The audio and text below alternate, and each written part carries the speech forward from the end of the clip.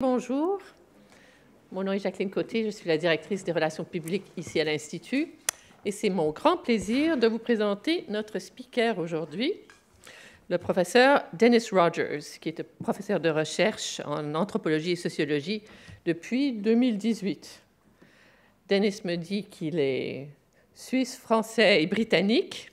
Il a fait ses études à l'Université de Cambridge et il a enseigné aux universités d'Amsterdam, de Glasgow, de Manchester et de LSI.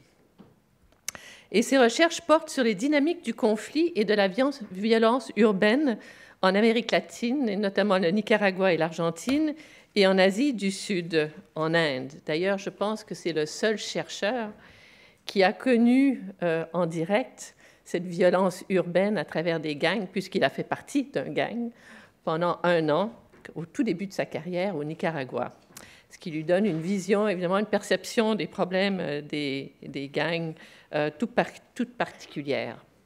Denis arrive à l'Institut avec une bourse de cinq ans du Conseil européen de la recherche qui lui permet d'élargir ses recherches à l'Afrique du Sud et à la France. Et euh, c'est mon grand plaisir de lui donner la parole pour, qu'il vous parle plus généralement des villes sous tension. Comme tous nos lunch briefings, la présentation sera à peu près une demi-heure et ensuite vous aurez une autre demi-heure pour poser des questions à Denis. Voilà. You have the floor.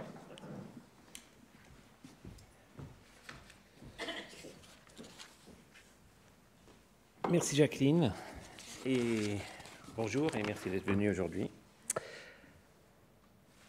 Alors, bon, ça ne marche pas.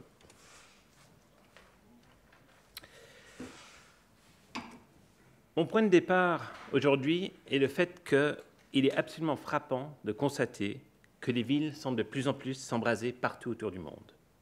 Hong Kong, Santiago, La Paz, Bagdad, Beyrouth, Téhéran, Barcelone, Paris. Les villes partout sont maintenant des foyers de violence, de désordre, de chaos. Mais la question qui se pose est sommes-nous en train d'entrer dans une nouvelle ère de révolte et de rébellion Ou bien faisons-nous tout simplement face à une conséquence naturelle de l'urbanisation du monde? Il est clair que l'urbanisation est l'un des faits marquants du XXIe siècle. Il y a à peu près une dizaine d'années, le monde a vécu une véritable révolution lorsque, pour la première fois de notre histoire, plus de 50% de la population de la planète est devenue urbaine. Le processus ne fait que s'accélérer L'ONU projette que plus de deux tiers de la population du monde vivra en milieu urbain d'ici 2050. Mais ceci est bien plus qu'une transformation démographique. De plus en plus, nous pouvons dire que nous vivons dans un monde caractérisé par ce que les géographes désignent comme une condition d'urbanisme planétaire, c'est-à-dire que nos principales formes d'organisation sociale sont maintenant fondamentalement urbaines. À cet égard, force est de constater qu'il existe de longue date une association généralisée entre les villes, la violence et l'insécurité. C'est un lien que le philosophe chinois antique Sun Quan, l'historien romain Tite Live, ou bien encore le géographe arabe médiéval Ibn Khaldun font tous explicitement dans leurs écrits, caractérisant les villes comme des foyers d'insécurité du fait d'une compétition plus intense entre leurs habitants, plus nombreux par rapport aux sociétés paysannes. Plus récemment, cette vision des choses domina les sciences sociales du XIXe siècle, en particulier à travers les travaux des sociologues allemands Ferdinand Tönnies et Georg Simmel. Le célèbre essai de ce dernier sur la métropole et la vie mentale eut une influence considérable au-delà des sphères académiques. À une époque où les villes étaient en mutation, partout dans le monde, du fait de la révolution industrielle se consolidant dans le monde occidental et l'imposition du colonialisme dans le reste du monde, cet essai captura quelque chose des peurs urbaines de l'époque qui persistent aujourd'hui à bien des égards. La corrélation entre ville et insécurité se base sur la notion selon laquelle les contextes urbains seraient des espaces intrinsèquement indisciplinés et désordonnés, et donc généralement sujet à des comportements transgressifs. Ce point de vue a probablement été articulé le plus systématiquement et le plus élégamment par le sociologue américain Louis Worth dans son célèbre essai sur l'urbanisme en tant que mode de vie, publié dans l'American Journal of Sociology en 1938.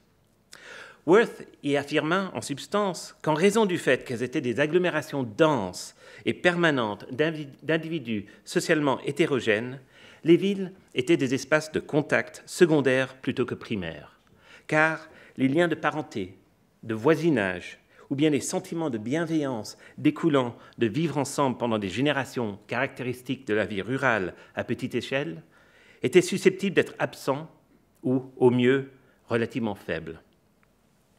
Ceci rend la vie urbaine naturellement plus compliquée, fragile, volatile, parce que la proximité étroite et la collaboration entre des individus qui n'ont aucun lien sentimental ou émotionnel favorisent un esprit de concurrence et d'exploitation mutuelle. Et de ceci découle le fait que les villes souffrent de délinquance, de crimes, de corruption et de désordre, selon Worth. Cette vision est au premier abord éminemment logique, même persuasive, même séductive, mais elle constitue aussi une forme de fétichisme spatial. D'une part, Worth peut être taxé d'individualiser l'expérience urbaine alors que celle-ci est avant tout clairement collective.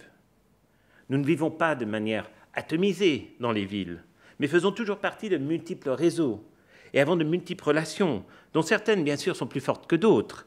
La relation avec la caissière du supermarché, ou que nous saluons chaque fois que nous allons faire nos courses hebdomadaires, est différente de celle que nous avons avec nos collègues de travail, et encore plus avec nos amis ou notre famille.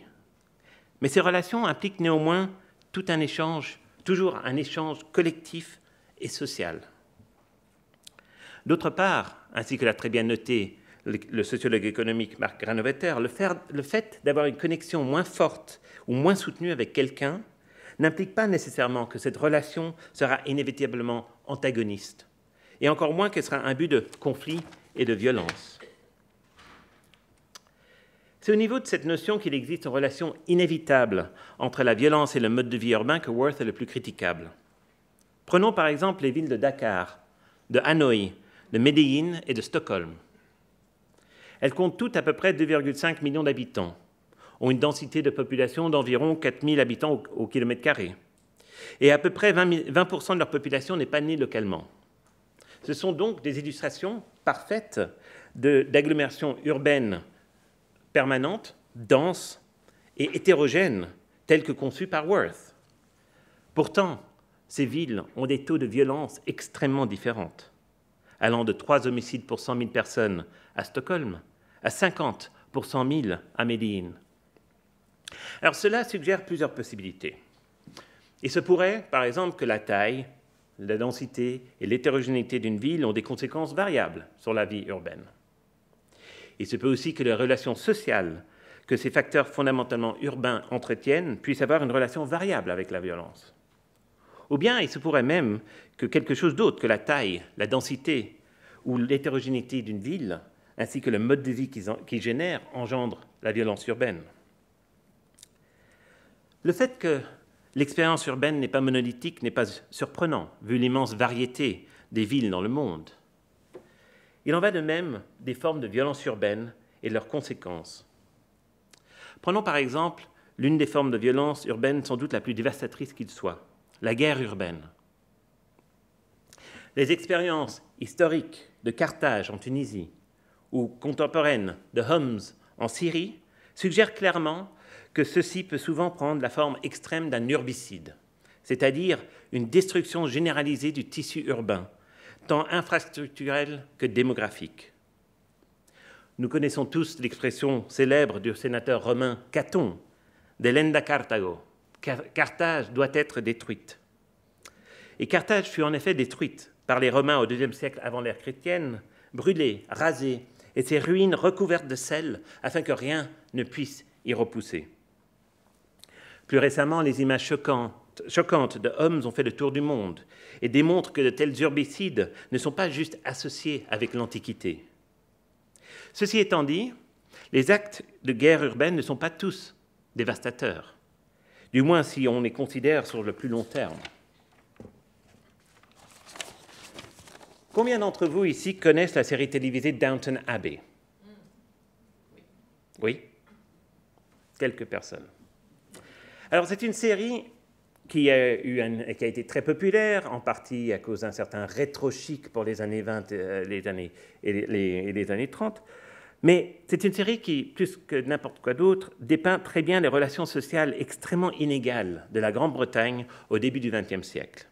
Alors bien que la série se passe majoritairement dans le Yorkshire rural, un certain nombre d'épisodes se passent à Londres et représentent superbement comment Londres était à l'époque l'une des villes les plus inégales d'Europe, divisée entre un Est uniformément pauvre et une partie Ouest très riche. Il est probable que cette ségrégation urbaine se serait renforcée sans la Deuxième Guerre mondiale, dont les conséquences sont directement responsables pour l'intégration socio-spatiale de la ville. Les bombardements de la Luftwaffe de l'Allemagne nazie, qui dévastèrent le tissu urbain de la ville, ouvrirent des espaces physiques à travers celle-ci, dans lesquels le gouvernement travailliste de Clément Attlee, qui vint au pouvoir à la fin de la guerre, promulgua la construction de logements sociaux, promouvant ainsi une mixité socio-spatiale au sein de la ville absolument unique à son époque, en tout cas par rapport à une ville comme Paris, qui construisit son logement social en périphérie, renforçant ainsi les inégalités urbaines. Alors ici, nous voyons une carte du logement social à Londres, et ceci ne marche pas non plus euh, où en fait le vert constitue des logements sociaux, et on voit qu'il est bien distribué à travers toute la ville. À ce niveau-là, Londres est une ville assez unique, en tout cas en, en Europe de l'Ouest. Une même ambiguïté par rapport à conséquences de la violence euh, vaut aussi pour une autre forme paradigmatique de violence urbaine, la criminalité urbaine et l'insécurité qu'elle peut générer.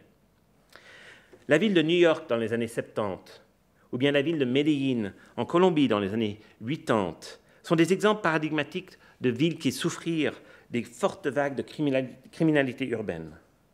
Des films de l'époque tels The Warriors, à propos d'un New York envahi par des hordes de gangsters, ou bien des séries on va dire pseudo-historique peut-être, tel Narcos de Netflix, représente bien cette violence urbaine et les conséquences pour le tissu social. En même temps, adoptant un point de vue plus de longue durée, ces périodes d'insécurité et de violence ont aussi directement donné lieu aux célèbres renaissances urbaines que ces deux villes ont connues respectivement dans les années 80 et 2000 suite à la mise en place de politiques visant à réduire la criminalité. Alors celle-ci n'était pas uniquement de nature répressive, mais impliquait aussi des projets de régénération urbaine, de soutien aux associations communautaires et de promotion d'initiatives créatives locales, recréant ainsi un tissu urbain uni et inclusif.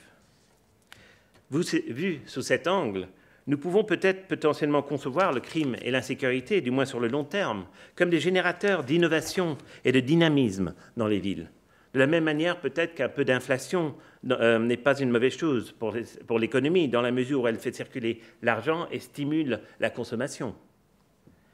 Nous pourrions même pousser cette affirmation plus loin et affirmer qu'il pourrait y avoir un compromis entre la sécurisation et l'innovation dans les villes, et que la tendance actuelle à essayer de promouvoir des villes plus sûres, des safer cities, court le risque, en fait, de les étouffer.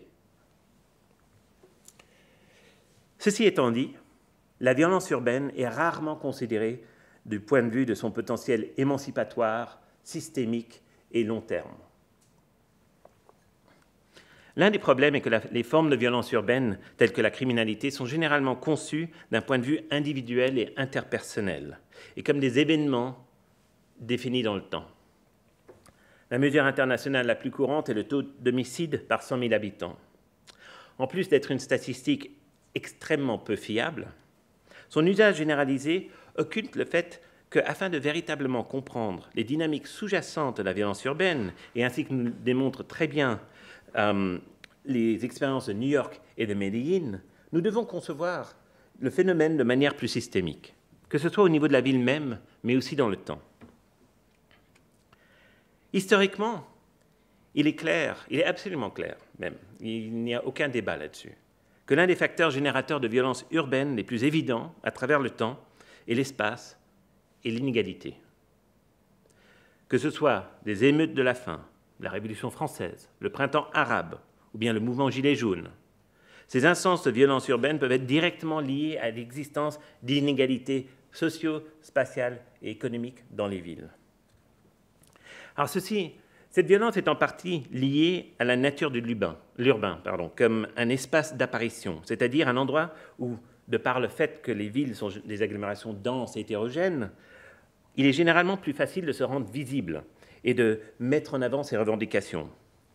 Mais nous pouvons aussi également lier l'inégalité urbaine à la violence d'une autre manière en milieu urbain. Et plus précisément au fait que la ville en elle-même peut favoriser la création d'inégalités, se constituant ainsi comme une forme potentielle de violence en elle-même. Une des illustrations les plus claires de ceci est la célèbre et célébrée osmanisation de Paris au XIXe siècle, qui soi-disant transforma la ville d'une agglomération sale, encombrée et malsaine, constituée de bidonvilles improvisés, boueux, humides, fétides, remplis de signes de pauvreté, ainsi que de déchets laissés par un système d'égout inadéquat et défectueux, à la ville lumière que nous connaissons tous aujourd'hui.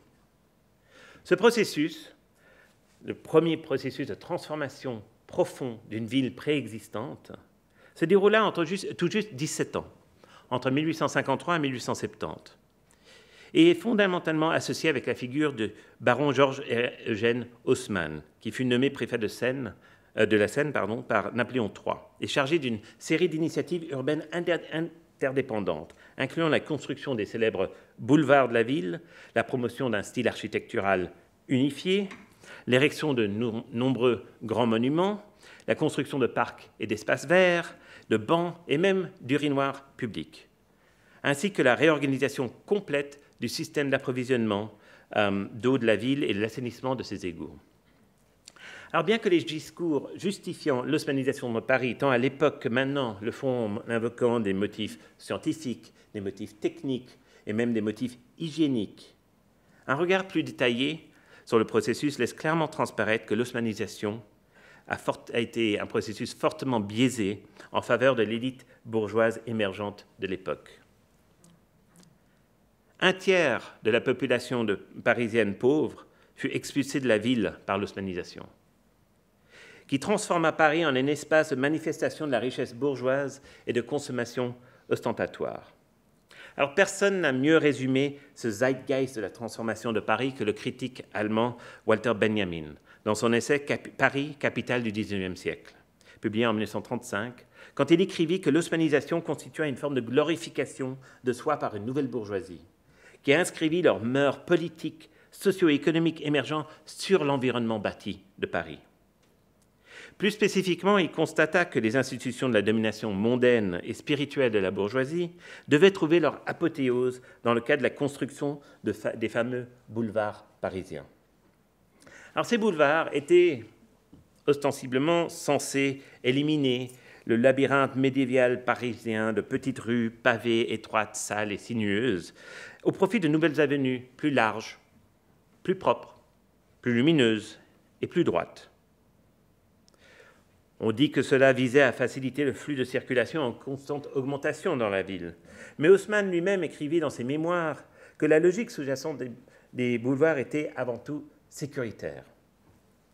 Paris avait connu trois révolutions depuis 1789, tandis que des insurrections avaient érigé des barricades neuf fois au cours des 25 années précédant le début de la haussmannisation. Et les boulevards étaient conçus afin d'ordonner et de contrôler une ville perçue comme étant indisciplinée.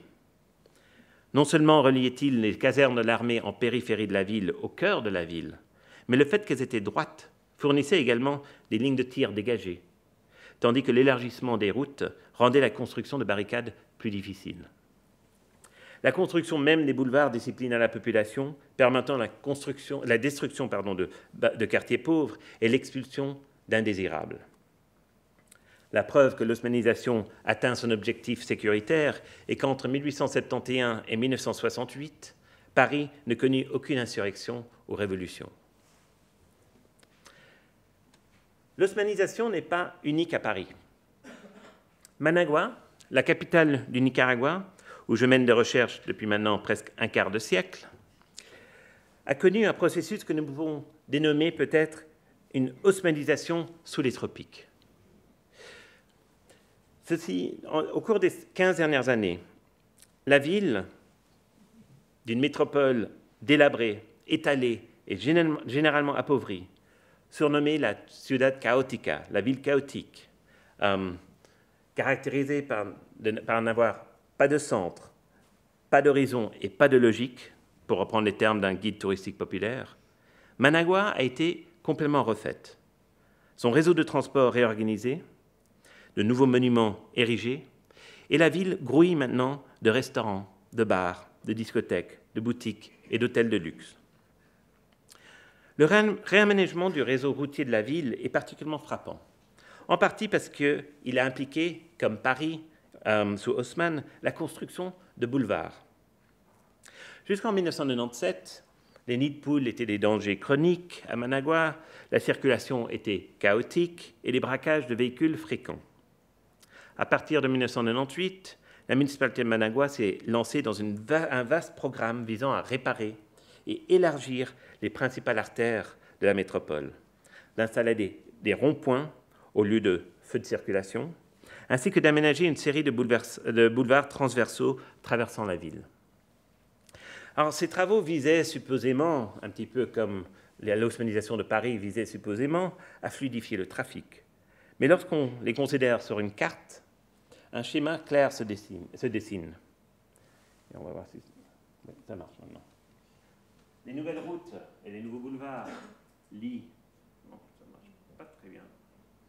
Bon, lient l'aéroport international de Managua, remodelé pour plus de deux tiers du budget municipal en 2001, euh, et le seul aéroport au monde que je connaisse où il y a beaucoup plus de comptoirs de première classe que de comptoirs économiques. Euh, le palais présidentiel, juste un petit peu en dessous du N là-haut, euh, reconstruit avec grande faste, avec des intérieurs en partie modelés sur le palais de Versailles. Euh, deux centres commerciaux qui sont maintenant un petit peu les espaces de socialisation de la nouvelle classe, haute classe nicaraguayenne. Plaza Inter et Metro Centro. A Los Robles, qui constitue la zone rosa, la zone de, restaurants riches euh, et huppés ou de discothèques. Et finalement, à, Las Colinas et c'était sur là-bas, les deux quartiers riches de la ville. Ce réseau routier particulier permet à l'élite urbaine de Managua de se déplacer en toute sécurité entre leurs différents points de vie. Plus gênés par les nids de poules, les embouteillages, les feux de circulation ou la criminalité. Les ronds-points, par exemple, réduisent considérablement le risque de braquage, vu qu'on n'a pas besoin de s'arrêter. Par contre, pour les piétons, c'est plus compliqué. Et une des, euh, statistiques les plus incroyables que j'ai jamais rencontré, que j'ai jamais, sur lesquelles j'ai jamais, euh, rencontré, est en fait euh, la statistique de mort piétonne à Managua, qui a augmenté de 500 d'une année à l'autre après la, finalisation du réseau euh, de construction des routes. Alors non seulement est-ce que nous pouvons dire que toute une partie du tissu urbain de Managua a été désimbriquée de la mosaïque de la métropole et que la grande majorité de la population pauvre de la ville est exclue de cette Nueva Managua des riches qui vivent maintenant ce que nous pourrions appeler une ségrégation splendide.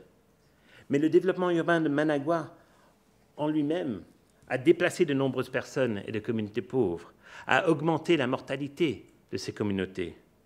Et, pour cette raison, dans mes écrits, je qualifie de telles transformations de formes de violence infrastructurelle, pour souligner d'une part qu'elle engendre des violences directes, mais aussi d'autre part que la ségrégation urbaine n'est pas quelque chose qui se produit naturellement, et qu'elle doit être comprise comme le produit de structures et de processus spécifiques liés à l'existence d'inégalités profondes. Vu ainsi, la ségrégation et l'exclusion urbaine deviennent partie intrinsèque de régimes d'injustice qui sont motivés par la séparation des riches et des pauvres à travers l'imposition de projets infrastructurels déterminés, qui doivent être vus euh, comme plus que de simples instruments d'oppression et de domination, mais de véritables formes de violence en elles-mêmes. Une telle interprétation peut paraître extrême au premier abord, mais elle donne un sens particulier au célèbre commentaire du philosophe français Paul Virilio, qui disait que dire que la ville et la guerre font partie liées est un euphémisme. La cité, la police, est constitutive de la forme de conflit appelée guerre, tout comme la guerre est elle-même constitutive de la forme politique appelée cité. Vu de cette perspective, il devient impératif de commencer à concevoir des villes d'une manière différente afin de, afin de comprendre leur violence plutôt de les voir comme des foyers naturels d'insécurité ou de désordre.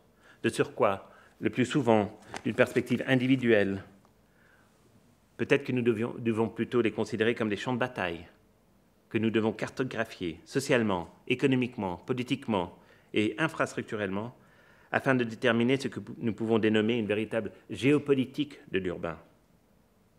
Une telle approche ferait inévitablement évoluer le débat de la crise en ville, plutôt à une crise de la ville. Et vu ainsi, il devient plus clair qu'en fin de compte, le défi de la violence urbaine n'est pas tant de trouver des moyens de réduire ou de le, contenir, mais plutôt de créer des villes permettant à tous de s'y épanouir sans avoir besoin euh, de recourir à la violence, que ce soit la violence des riches contre les pauvres ou vice-versa. Merci beaucoup.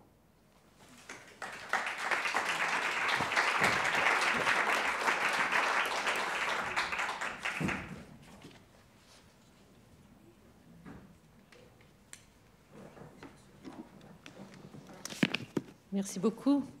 On finit cette magnifique euh, présentation sur des questions. On en reste un peu. Ouf, c'est quoi les réponses? Et je me suis posé la question, et merci Denis de nous avoir fait un survol aussi magnifique des problèmes de ces villes. Vous n'avez pas vraiment abordé la question de la taille des villes. Est-ce qu'on peut s'imaginer qu'il devrait y avoir une limite de croissance ou qu'il devrait y avoir une certaine taille optimale des villes pour pas tomber dans les problèmes que vous avez décrits?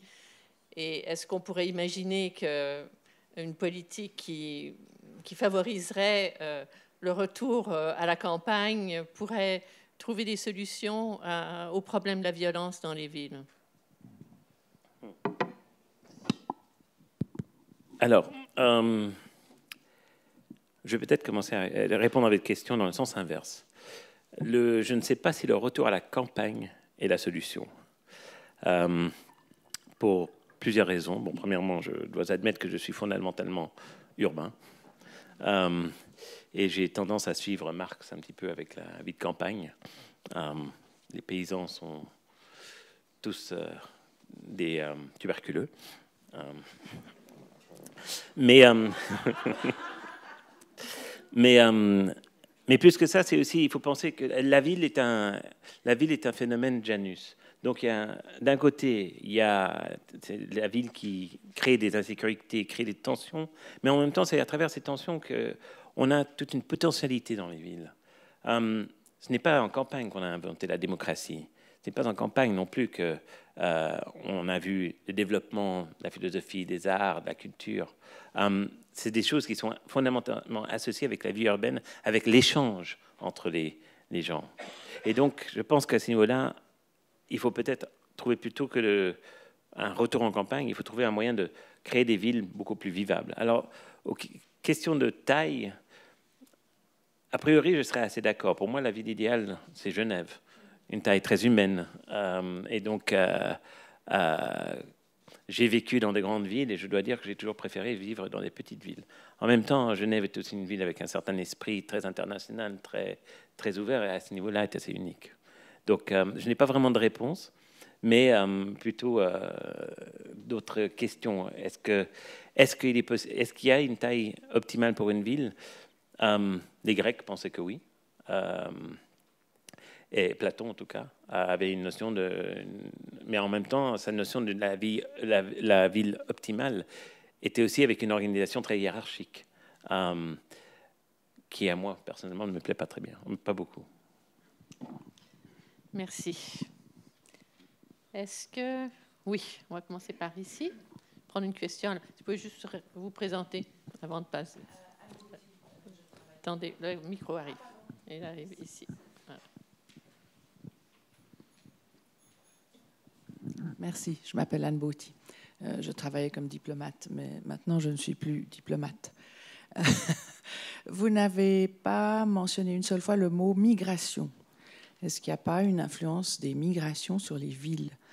Et en ce qui concerne Genève, vous êtes venu parce que ça vous, semble la taille idéale. Mais qu'est-ce qu'on fait quand la taille qui était idéale devient lentement pas idéale?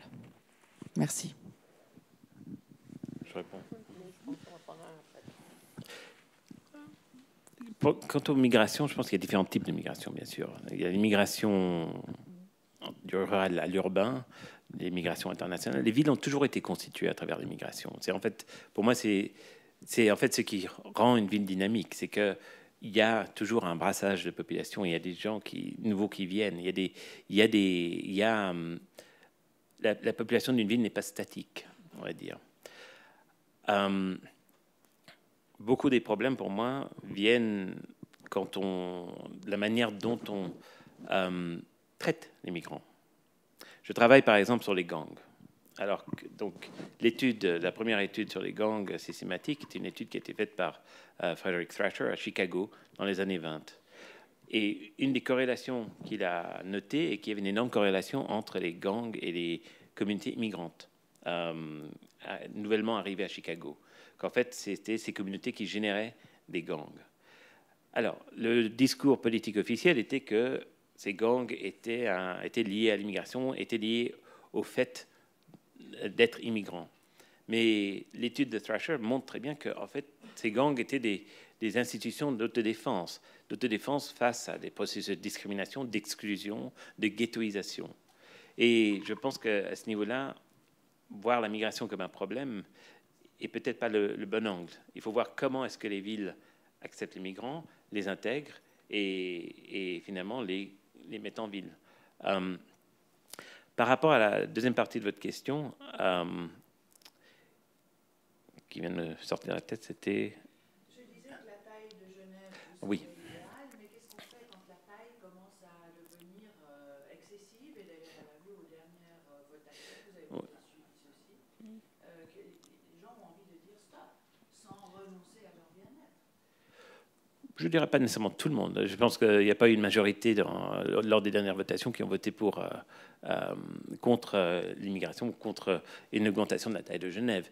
Et je pense qu'il y a quand même pas mal de soutien dans Genève aussi de voir Genève dans un cadre beaucoup plus large que juste le canton, le Grand Genève, et puis des projets tels que le CEVA qui connectent la France limitrophe avec Genève sont, sont aussi peut-être un désir de d'augmenter la taille de Genève et d'expérimenter quelque chose. Mais en même temps, il y a des manières d'augmenter qui sont la taille d'une ville.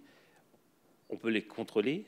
Euh, et Genève fait ça relativement bien. Si on regarde le, plan urbain et le plan directeur d'urbanisme de Genève a une logique très forte de ne pas trop euh, densifier euh, le canton ou même la ville. Et je pense surtout que il y a peut-être une manière plus organique d'assumer la taille d'une ville.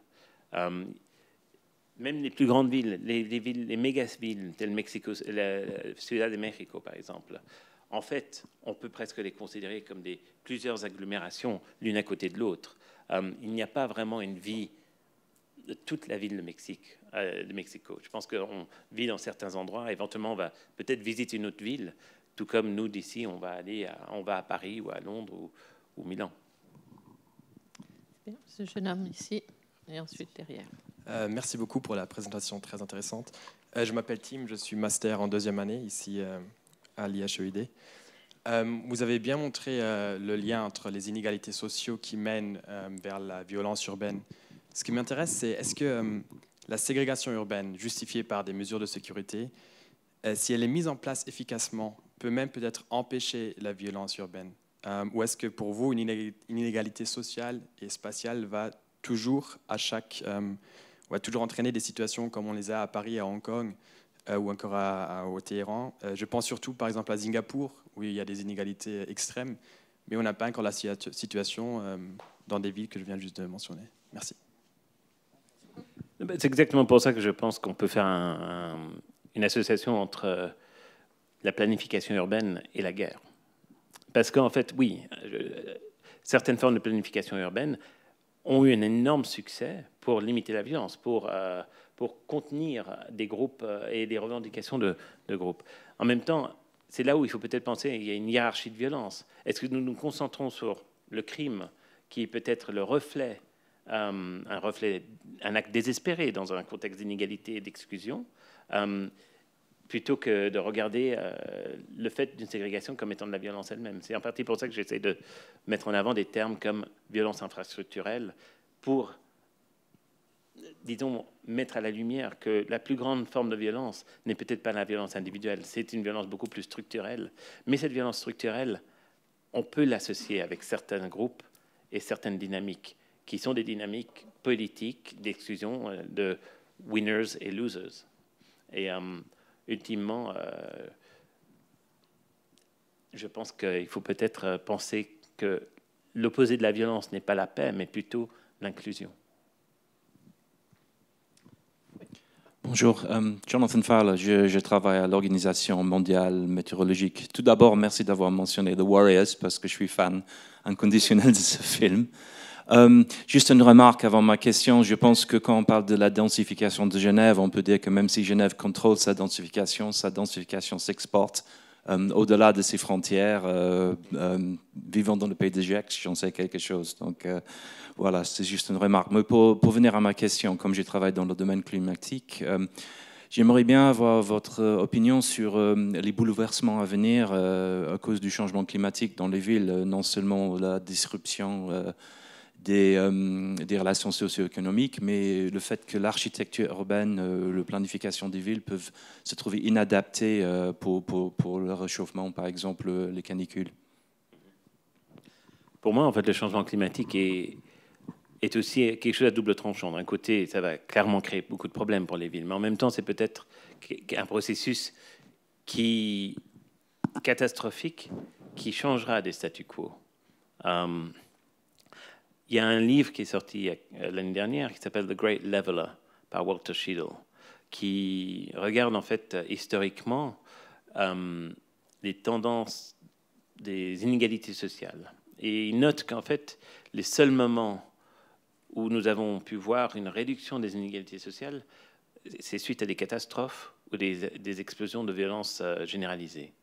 Euh, alors les catastrophes qu'il explore sont les catastrophes style des épidémies, euh, la, peste bubonique, etc. Mais je pense que le changement climatique fait partie de ce genre de catastrophes qui changeront et, créeront des, des, nouvelles configurations dans les villes. Alors, pour moi, ce qui est important, le plus important ici, c'est le grand débat. Est-ce que les villes peuvent contribuer dans la lutte contre le changement climatique ou est-ce que les villes sont plus des contributrices au changement climatique? Et si c'est le dernier cas, que faisons-nous Comment Est-ce qu'il faut qu'on commence à penser une autre façon de vivre les villes et peut-être des villes plus petites ou, je ne sais pas. Ça, c'est le grand défi euh, des villes par rapport au changement climatique pour moi. Ou est-ce que ce n'est pas une question de gouvernance? Parce qu'aujourd'hui, on a euh, des, pouvoirs donnés à différents échelons de la société.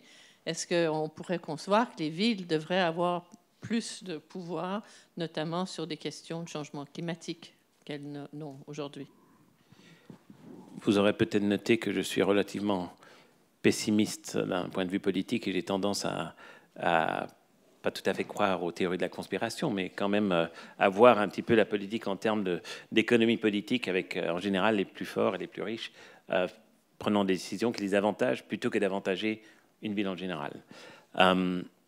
mais de manière plus générale, je ne, sais pas si le changement climatique est quelque chose qui peut que l'on peut attaquer à travers l'échelle urbaine. L'échelle urbaine est un facteur important, mais c'est un problème planétaire. Donc, en fait, les, mécanismes de gouvernance dont on a besoin, sont, c'est des mécanismes de gouvernance beaucoup plus forts au niveau planétaire plutôt que plutôt qu'au niveau urbain. Oui, mais si 50% de la population vivent dans les villes, je pense qu'en Europe, c'est plutôt deux tiers, et les villes se, se, mettaient ensemble pour avoir une action commune, on arriverait peut-être euh, à des meilleurs résultats qu'avec les gouvernements qui se mettent ensemble. Bon, ça c'est vrai. Euh, on, a vu ça par exemple aux États-Unis avec les villes euh, qui se déclarent des villes sanctuaires pour les, requérants d'asile contre la, politique du gouvernement de Trump.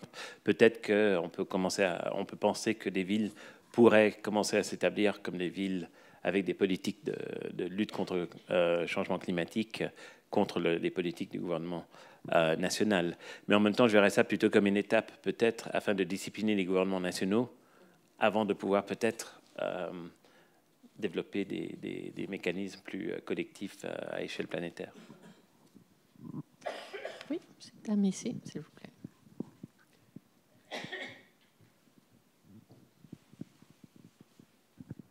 Bonjour, merci. Je m'appelle Mélanie Rouquier, je suis fondatrice de Chap Chap qui travaille sur les inégalités dans le domaine culturel. Je voulais juste vous demander si vous voulez bien revenir, s'il vous plaît, sur votre idée de, du potentiel émancipatoire de la criminalité urbaine et euh, toute l'innovation qui peut découler de ça. Parce que je travaille en l'occurrence beaucoup avec l'Afrique du Sud et comme vous allez aussi travailler là-dessus, ça, me, ça me tilte du coup.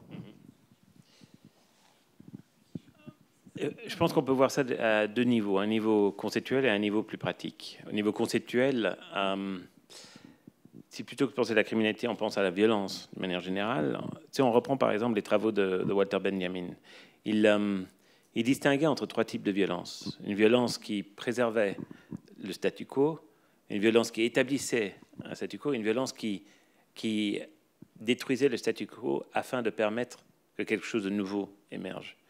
Et pour moi, dans certaines, dans certaines situations, euh, bloquées politiquement, euh, des fois, il n'y a que la violence qui permette euh, quelque chose de nouveau de sortir. On a vu ça, on voit ça actuellement à Santiago ou à, Beyrouth. Ce ne sont pas les régimes en place ne n'ouvriraient jamais ou n'incluraient jamais d'autres à moins d'y être forcés.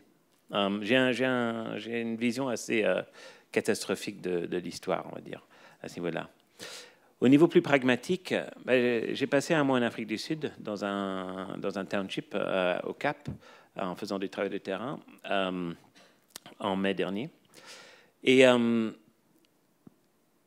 c'était un township qui était contrôlé par un gang, un trafiquant de drogue. Et ce gang, donc le township était en plein milieu d'une partie du Cap qui était extrêmement violent il y avait une guerre, de gangs qui, avait lieu là-bas. Et en 18 mois, dans le, district, il y avait 144 morts, ce qui est énorme. Euh, il n'y eut aucun mort dans ce, township. Et c'était en partie parce que le gang le tenait vraiment d'une main assez, euh, assez forte, mais en même temps, il y avait une certaine relation symbiotique avec la population. Donc, j'ai fait une entrevue avec mon collègue de travail, euh, Stephen Jensen, qui est professeur à l'Université d'Alborg euh, au, euh, Danemark, avec un couple qui tenait un petit magasin. Alors, on était arrivé le matin pour faire l'entrevue, on avait passé 10 minutes à ouvrir le magasin, qui était un conteneur. Il y avait 14 serrures, etc. Ça avait pris énormément de temps. S'asseoir, on fait l'entrevue. À la fin de l'entrevue, on leur dit écoutez, est-ce que vous, est-ce qu'on peut vous inviter à déjeuner? Euh, euh, juste pour vous remercier pour l'entrevue. Et puis ils nous disent ah oui, pas de problème. Et ils se lèvent et ils quittent le magasin. Alors nous on comprend rien. On dit, ah, mais euh, vous n'allez pas fermer Ils disent non non c'est bon.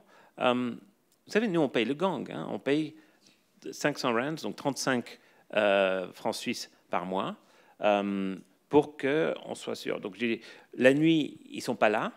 Euh, il faut payer plus pour qu'ils restent la nuit. Euh, et donc, en fait, euh, maintenant, le, le, membre de gang surveillant est juste là. donc, c'est tout bon, on peut partir. Et puis, rien, n'arrivera. Et le gang avait décidé d'étendre ce, système à toute la communauté, pas juste les petits magasins, etc. Et ils étaient en train de faire littéralement un recensement du quartier euh, afin de pouvoir demander 35 euh, euh, rand, donc 2 francs suisses par mois à chaque foyer. et en échange de ça, ils avaient établi un local que littéralement tout le monde appelait le bureau, the office. Et donc, l'idée, c'était que si on, payait les, deux francs suisses par mois. S'il arrivait quoi que ce soit, si on se faisait voler, si on se faisait euh, euh, attaquer dans la rue, on pouvait aller au bureau et quelqu'un serait envoyé reprendre le téléphone portable, ou, euh, etc. Alors, je ne vais pas dire que c'est un beau système, mais c'est un système qui a été mis en place en partie parce que ce township est un township où l'État sud-africain s'est en partie retiré et n'assure pas des questions sécuritaires. Hum, donc, il faut toujours regarder un petit peu la violence va être, aura des, points de vue, aura des, des, points de vue différents, on peut être vu de points de vue différents. Hum, et dans ce cas-là, la violence criminelle, parce que c'est une violence criminelle, hum, en fait, est perçue comme quelque chose de, de, positif par la plupart de la population. Alors, ce n'est pas nécessairement le cas de personnes hors du quartier qui viennent euh, dans le quartier, mais ça, c'est on va dire que le problème fondamental, là, c'est que ce qu'on a, c'est une, forme de gouvernance qui n'est pas inclusive, mais qui est vraiment très exclusive. Et à ce niveau-là, on va dire qu'il y a quand même un effet miroir par rapport à la manière dont beaucoup des villes sont organisées de nos jours, de manière très exclusive au bénéfice d'un petit groupe, sans inclure la majorité de la population. En gros, c'est une bonne chose s'il se transforme en société de sécurité privée. Le problème, c'est les méthodes pour, enforce, pour euh, enforce, pour euh, faire respecter leur dictat. Et c'est là-dessus, j'imagine, qu'on doit travailler comment on peut transformer les gangs criminels en gangs qui ont quelque chose de positif à contribuer à la société. Bon, moi, je ne pas, moi, pas, je dirais pas que c'est une bonne chose que on transforme ça en, la société en société de sécurisation privée. En partie, donc, donc, une, des, caractéristiques de ce qu'on peut appeler une gouvernance de gang est que euh, c'est une gouvernance qui est quand même basée sur l'exclusion. C'est aussi basé sur le fait qu'on est en train de déterminer euh, qui n'est pas de la communauté politique euh, que représente, qui est gouvernée. les gangs aussi sont des phénomènes extrêmement volatiles ils peuvent changer très rapidement. Moi, dans, lors de mon travail de terrain au Nicaragua, donc dans les années 90, quand je suis arrivé pour la première fois au Nicaragua, le gang du quartier était un gang qui prenait soin du quartier, protégeait les gens, etc. J'avais, je me souviens encore, très naïvement, j'avais eu une conversation avec le Banque mondial leur disant qu'ils devaient travailler avec les gangs. C'était leurs interlocuteurs locaux les plus intéressants. Hein. Bon, ils ne m'ont pas écouté, ce qui était peut-être pas une mauvaise chose, euh, parce que quand je suis retourné quelques années plus tard, en fait, le gang était devenu un gang très euh, prédatoire. Et ils étaient euh, impliqués dans le trafic de drogue. et en fait, la violence était tournée contre la communauté. alors c'est là, pour moi, qu'il y a une différence entre l'État et un gang. Un gang, conceptuellement, ne peut jamais avoir ce qu'on appelle en anglais un encompassing interest un intérêt d'inclusion pour toute la communauté. Euh, alors qu'un État, conceptuellement, peut l'avoir. Euh, il n'a pas, pas, toujours, et pour moi, en fait, j'ai écrit un article dans le passé qui s'appelle The State as a Gang, euh, pour un petit peu essayer d'expliquer comment on devrait considérer certains États qui ne sont pas inclusifs et qui, sont plutôt, qui ont plutôt une logique de gouvernance de gang.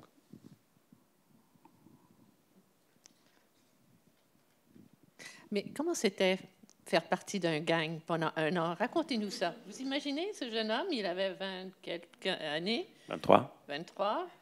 Green behind the ears. Et puis, il, rencontre euh, le chef de la gang. Et puis, alors, comment ça s'est fait? Comment on vit ça?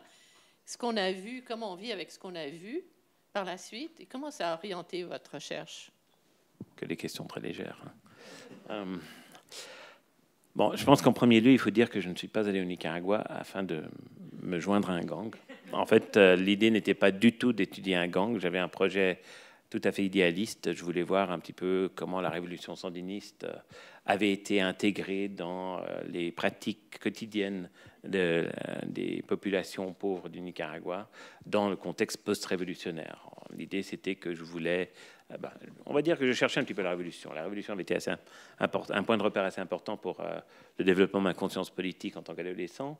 Euh, et même si je suis allé au Nicaragua en 96, six ans après, la fin de la révolution, j'avais quand même un certain, euh, on va dire un certain radicalisme, où je cherchais un certain radicalisme. Rien ne m'avait préparé pour le fait que le Nicaragua était beaucoup plus dangereux et beaucoup plus violent que je ne le pensais. on va dire que lors des deux premiers mois que j'étais au Nicaragua, j'ai acquis une habitude, on va dire, un petit peu, un, petit peu infortuné de, de, me faire attaquer et tabasser par des gangs, ce qui a quand même concentré mon esprit sur le phénomène. Et lorsque j'ai finalement pu euh, intégrer et aller vivre dans un quartier pauvre, euh, qui, avait qui était connu pour avoir un gang extrêmement euh, dangereux, moi, bien évidemment, j'avais très peur. ça m'a pris trois jours pour sortir de la, maison dans laquelle je logeais et de me mettre dans la rue. Mais bien sûr, une fois que je me mets dans la rue, les personnes qui viennent me parler sont les membres de gang parce que la rue, c'était un petit peu leur espace. Mais en même temps, il euh, vu que je vivais dans le quartier, ils n'allaient jamais, ils n'allaient pas me toucher, parce que leur logique était de protéger le quartier des habitants du quartier. Euh, en même temps, ils ne savaient pas exactement ce que je faisais là. Euh, j'avais à peu près l'âge, j'avais deux ans de plus qu'eux, plus ou moins, j'avais 23 ans. j'avais la, tête rasée, je m'habillais plus ou moins de la même manière qu'eux.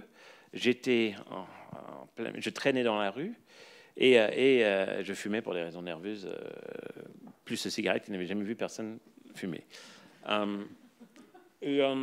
Mais en fait, ça s'est fait très organiquement. On a eu beaucoup d'échanges. Ils voulaient savoir est-ce que tu es membre d'un gang en Europe? J'ai pensé est-ce que l'université de Cambridge est un gang? Peut-être. puis euh, puis après, et eux voulaient savoir. Donc je leur disais non, je ne suis pas membre de gang. Et vous? Et puis eux, au début, me disaient non, non. Il n'y a pas de gang ici. Alors que les, membres de la, la, famille chez qui je logeais m'avaient dit oui, c'est les membres du gang, il n'y a pas de problème. Mais t'en fais pas, ils vont pas te toucher. Mais moi, je ne comprenais pas pourquoi ils me toucheraient pas. Et finalement. Euh, après un moment, ils m'ont ils demandé est-ce que je voulais être initié dans le gang? Alors, moi, j'ai dit oui, parce que je me suis dit, en munissant à eux, au moins, ils ne me tabasseront pas. Euh, eux voulaient que je me joigne à eux, en partie parce qu'il y avait une, une, hiérarchie euh, réputationnelle euh, au sein du, district, où les différents gangs du district étaient en hiérarchie en fonction de leur réputation. la réputation d'un gang pouvait découler du fait que il y avait des membres euh, qui avaient commis je ne sais pas combien de meurtres ou combien de vols, etc. Ou bien ça pouvait aussi découler de faits euh, non violents.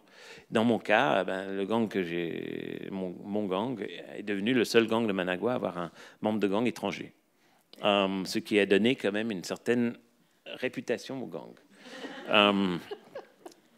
cela m'a aussi converti en cible, mais ça, on va dire que c'est une autre histoire. Once a member, always a member? Non, non, j'ai pris ma retraite euh, du gang, mais en même temps, euh, le fait d'avoir été membre du gang veut dire que quand je retourne au Nicaragua, les prochaines générations m'ont un petit peu traité comme un vieux de la vieille. Et c'est en fait aussi une des fondations de mes recherches longitudinales sur le gang.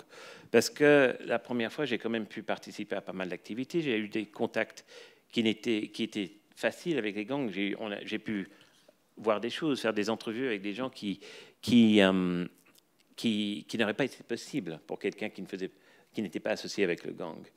Euh, et en retournant, j'ai pu continuer ce genre d'entrevue. Donc, même quand les membres de gang sont devenus des trafiquants de drogue, j'ai pu, à ce moment-là, euh, faire des entrevues avec eux. Ils ont partagé les informations à propos euh, des dynamiques du trafic de drogue.